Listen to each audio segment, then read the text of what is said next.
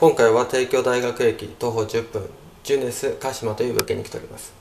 こちらの物件の特徴はインターネットが無料使い放題入居した日から利用ができます。また、えー、間取りが2通りありまして、えー、洋室10畳洋室7畳の2通りです。で今回は7畳の物件をお部屋紹介します。まず玄関入ってこちら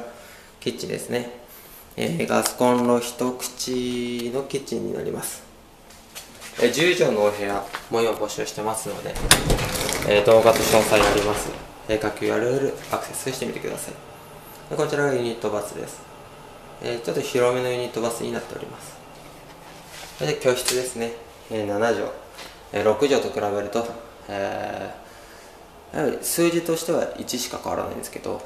え入ってみるとかなり違うイメージですね、えまたこちら角部屋なのであのように出窓がついております。えー、もちろん、えー、エアコンとエアコンは設備になっております。ABS も視聴が可能です。こんな感じです。はい。でまだこんな感じです。で敷地内に、えー、自動販売機あります。また、えー、近くに、えー、OK ストアというスーパーがありましてそちらはえー、この近隣だととても有名なスーパーです、えー、かなりお安く、えー、お弁当も売っています。お弁当はコンビニよりも、えしっかりしていますので、えさらに安いです。またタイムセールなどもありますのでここからだったらすぐに